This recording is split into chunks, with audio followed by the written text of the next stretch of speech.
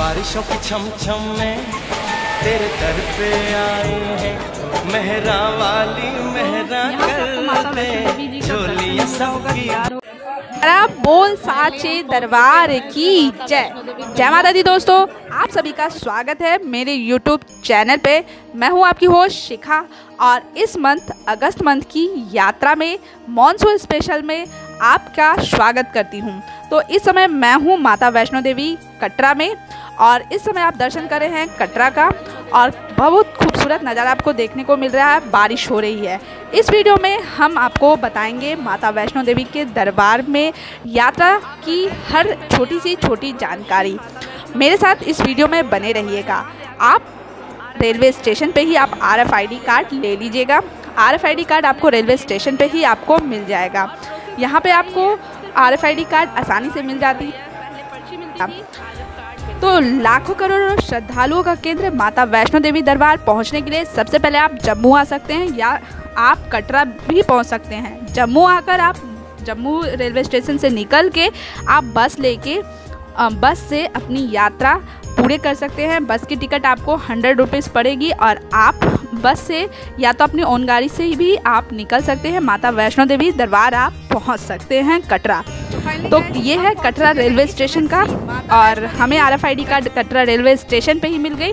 हम अपनी यात्रा कटरा रेलवे स्टेशन से ही स्टार्ट करते हैं और आज हमें कटरा स्टेशन पे ही अपनी आर एफ़ कार्ड मैंने ले लिया और अब हम पहुँचते हैं निहारिका भवन। निहारिका भवन में हमने अपनी पहले से बुकिंग करा चुकी थी। आप सुबह मॉर्निंग में छः पाँच बजे यहाँ पर खुल जाती है। निहारिका भवन पर जाके आप अपना डॉर्मेट्री सिस्टम ले सकते हैं। ऑफलाइन यहाँ मिल जाएगा। ज़्यादातर आप रश जब रहता है सीज़न का समय रहता है, तब तो आपको ऑफलाइन नहीं मिलेगी। आप ऑनलाइन पहले से ही बुक कर लिया करो। तो ये दृश्य आपको निहारिका कॉम्प्लेक्स के अंदर में ही मिल जाएगा देखने को। यहीं पर शक्ति भवन और आशीर्वाद भवन भी मिल जाएगा। हमारी आशीर्वाद भवन की बुकिंग थी। तो चलिए हम चलते हैं आशीर्वाद भवन में। आशीर्वाद भवन घुसते ही आपको यहाँ पर रिसेप्शन काउंटर मिल जाता है आप मॉर्निंग में आइएगा, तभी रिसेप्शन में आपको यहाँ पे एक पर्ची चेक होती है आपकी अगर डॉर्मेट्री ऑनलाइन बुकिंग है तो यहाँ पे देखते हैं। यहाँ पंचमेवा प्रसाद आपको मिल जाएगा और देखिए काफ़ी क्लीन आपको यहाँ पे देखने को मिलता है। जो पंचमेवा प्रसाद आपको साइन बोर्ड की ओर से मिलता है, जो आप खरीदते हैं, वो यहीं पर आपको बनता है। आशीर्वाद भवन के अंदर में, निहारिका कॉम्प्लेक्स में अंदर में। तो चलिए, हम ऊपर की ओर चलते हैं।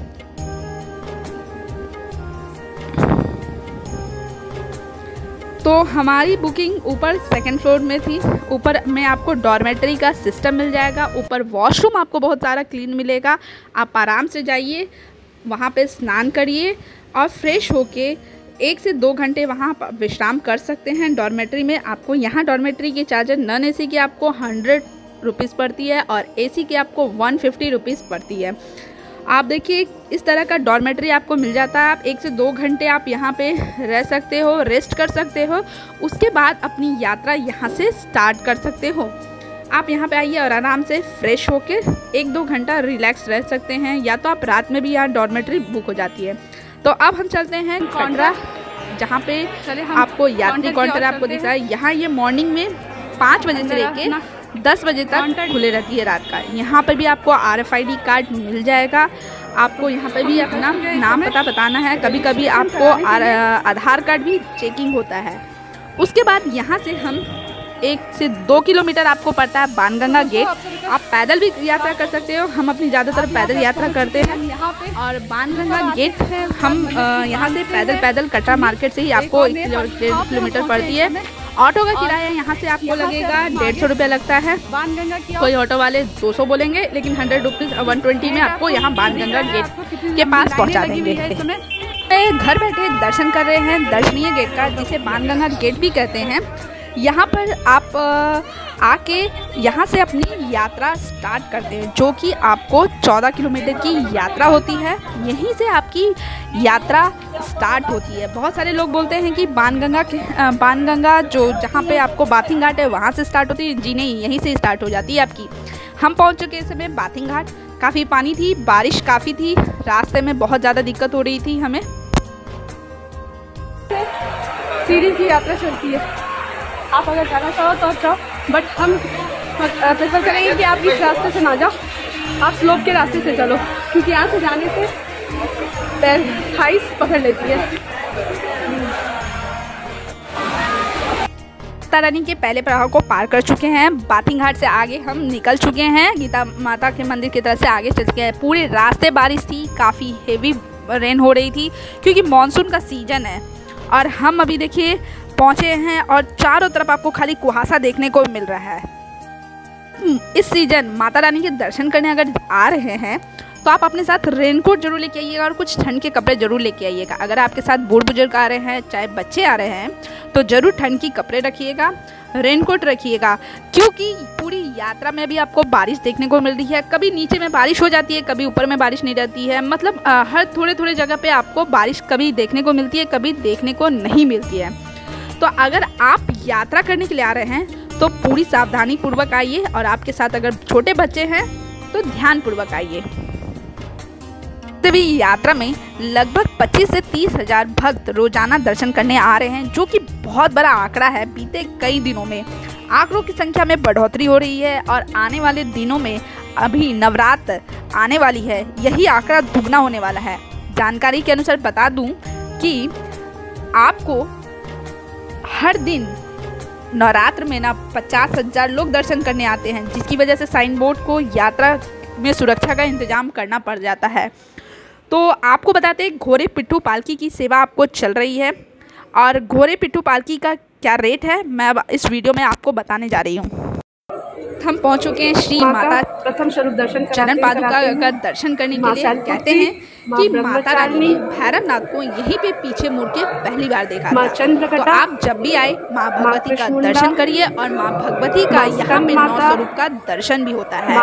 तो आप जब भी यात्रा करने अगर जाते हैं तो यहाँ प्रथम दर्शन आप चरण पादुका में सबसे पहले माता रानी का नमन करके आगे बढ़िए। तो यात्रा करने में आपको मुश्किल नहीं आती है। तो आप देख रहे हैं इस बार में कि पूरे यात्रा ट्रैक पे आपको कुहासा देखने को मिल रही है, क्योंकि बारिश हो रही है। तो हम पहुँचे इस समय अर्धकुमारी। Ardhkumari prepaid counter. यहाँ पे आपको घोड़े पिट्ठू पालकी की भी सेवा आपको मिल जाती है यहीं से। यहाँ से घोड़े का किराया आपको बारह सौ पचास रुपया पड़ जाएगा। भवन तक का, ऊपर तक का। पालकी का आपको तीन हज़ार दो सौ पचास पड़ जाता है। और हेलीकॉप्टर की जो किराया है, आपको नीचे से ही आपको निहारिका भवन से वन वे का पड़ता है एक हज़ार आठ सौ तीस रुपया, जो कि आप नीचे निहारिका भवन से ही आपको मिल जाती है। आप ऑनलाइन करना है तो आप ऑनलाइन ही कर लीजिए। ऑफलाइन थोड़ी सी जब आपको सीज़न रहता है तो उस समय दिक्कत आती है। तो चलिए, हम बढ़ते हैं इस समय आगे यात्रा के मार्ग में कि जहाँ आपको पूरे कुहासे ही कुहासे देखने को मिल रही है। यात्रा मार्ग पर आपको हर तरह की सुविधाएँ आपको मिल जाएगी। हर जगह पानी का व्यवस्था मिल जाता है, आपको बैठने की व्यवस्था हो जाती है। अब हम पहुँच चुके हैं, आपको यहाँ से दो मार्ग जाता है, एक हिमकोटी मार्ग, एक हाथी मत्था मार्ग। हिमकोटी मार्ग यहाँ से साढ़े पाँच किलोमीटर पड़ता है और हाथी मत्था साढ़े छः किलोमीटर पड़ता है, जो कि एक किलोमीटर ज़्यादा पड़ता है। हिमकोटी मार्ग को जब बारिश होती है तो बंद कर दिया जाता है, क्योंकि यहाँ पे कुछ दिन पहले भी आपको लैंडस्लाइड हुई थी, जो कि रास्ता बंद कर दिया गया था और हाथी मत्था मार्ग से ही रास्ता स्टार्ट किया गया था। यात्रा वहाँ उधर से ही हो रही थी। तो आप जब भी आए तो देखिए इस समय कितनी बारिश हो रही है। आप देखिए कितना तेज बारिश हो रहा है।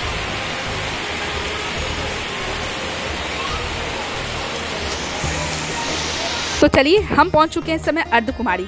अर्धकुमारी पहुँच यात्रा आपकी आधी हो जाती है, जो कि छः किलोमीटर की यात्रा यहाँ पे आपको कंप्लीट हो जाती है। बहुत सारे श्रद्धालु यहाँ आकर रेस्ट करते हैं। अर्धकुमारी पर ही आपको साइन बोर्ड का दूसरा डॉर्मेट्री मिलेगा और भोजनालय भी मिलेगा। यहाँ पर आपको देसी ढाबे, बर्गर, डोसा वगैरह सब मिल जाएँगे। अर्धकुमारी में आप स्टे कर सकते हैं। यहाँ पर भी आपको फ्री डॉर्मेट्री मिल जाएगी। और मान्यता यह है कि गर्भ जोन में आप अपने जीवन में एक बार ही दर्शन करने चाहिए क्योंकि गर्भ जोन में माँ भगवती जी ने नौ महीने तक तपस्या की थी।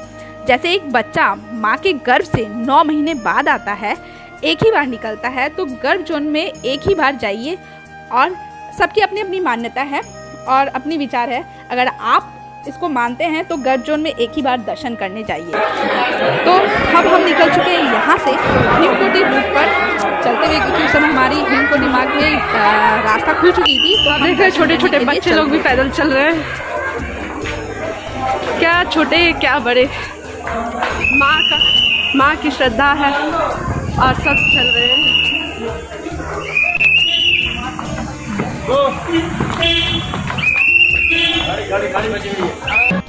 करेंगे बैटरी कार की। बैटरी कार के सहारे से भक्त अर्धकुमारी से भवन तक और भवन से अर्धकुमारी तक का सफ़र बहुत ही जल्दी कर लेते हैं।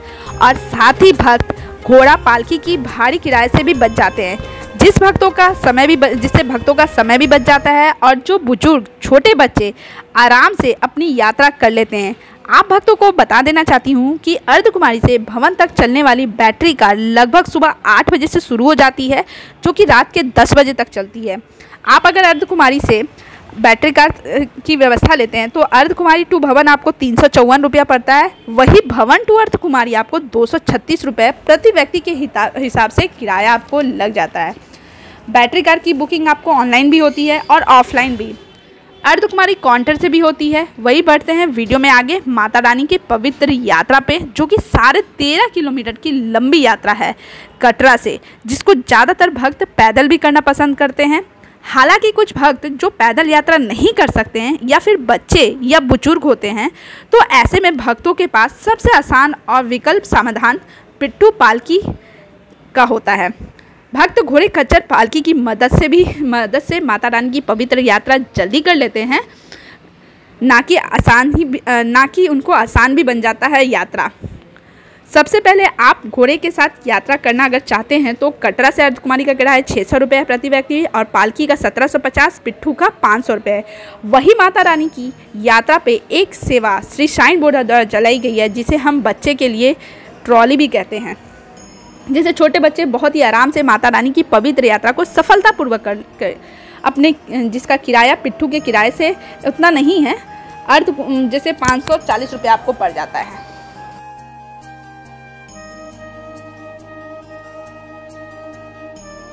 देखिए यहाँ पे कितना खूबसूरत दृश्य आपको देखने को मिल रहा है कि चारों तरफ़ आपको पूरे कुहासे देखने को मिल रहे हैं। और बारिश के समय में अगर आप आओगे तो इस तरह का दर्शन करने के लिए आ, इस तरह का मौसम आपको वेदर देखने को मिलेगा। तो आप देखिए कितना भव्य और खूबसूरत नज़ारा नीचे घाटी का आपको देखने को मिल रहा है माता रानी के द्वार में।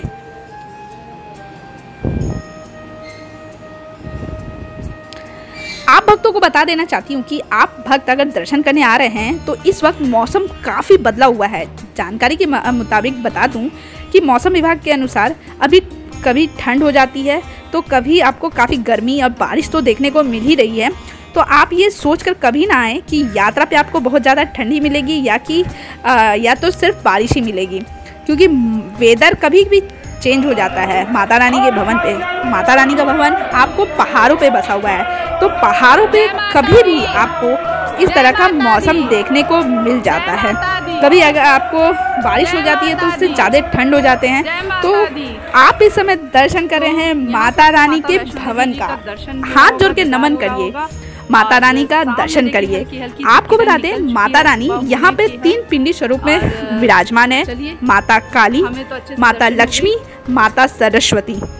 आप दर्शन करके आप रूपे से भी ऊपर माता रानी के दर्शन करने के लिए जा सकते हैं, जो कि रूपे का किराया आपको हंड्रेड रुपीज़ पड़ता है।